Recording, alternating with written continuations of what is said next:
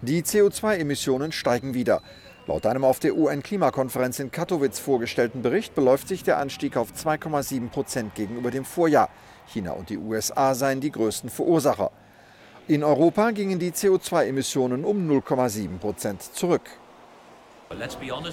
Doch zu Genugtuung bestehe kein Anlass, meint der niederländische Grünen-Abgeordnete Bas Eickhout.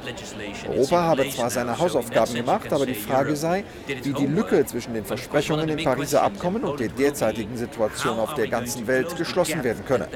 Und dann werde die ganze Welt nach Europa blicken. Tue Europa mehr, verspreche Europa mehr zu tun. Doch Europa habe keinen Plan.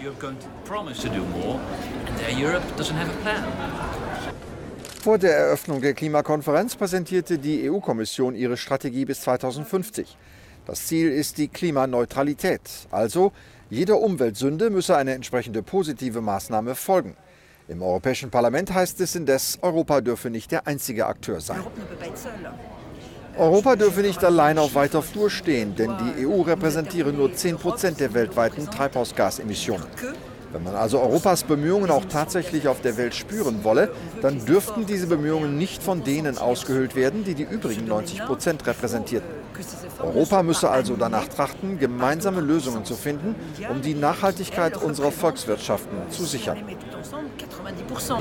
On ne peut pas faire, nous, Européens, les efforts tout seuls, et on ne doit pas faire des efforts euh, au détriment de la durabilité euh, de nos modèles économiques. In Brüssel herrscht die Meinung vor, dass Europa beim Klimaschutz führend bleiben müsse.